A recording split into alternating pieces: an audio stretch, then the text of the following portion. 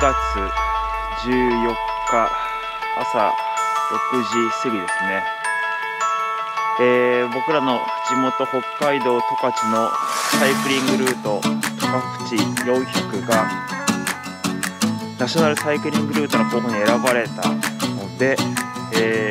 ー、この十勝のですね走ってる風景を、え、お届けするバイクログをスタートしたいと思います。